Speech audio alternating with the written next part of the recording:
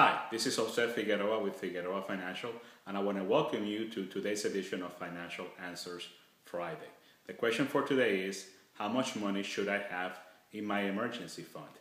That is the fund that is designed to cover unexpected expenses during the month, expenses outside of your monthly budget.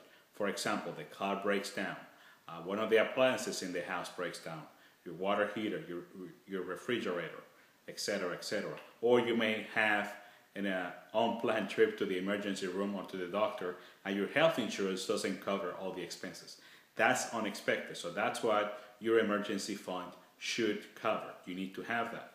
Now, if you're still working on your debt snowball, paying down credit cards, paying down your car loans, etc., you at least need to have $1,000 in your emergency fund because you need that small cushion that allows you to pay for those unexpected emergencies while still uh, without busting your budget and without having to go into more debt to cover them.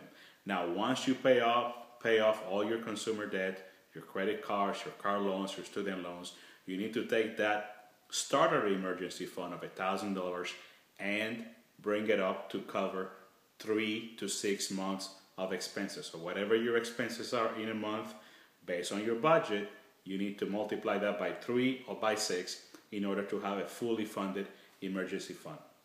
Believe me, the emergency fund will give you and your spouse and your family peace of mind.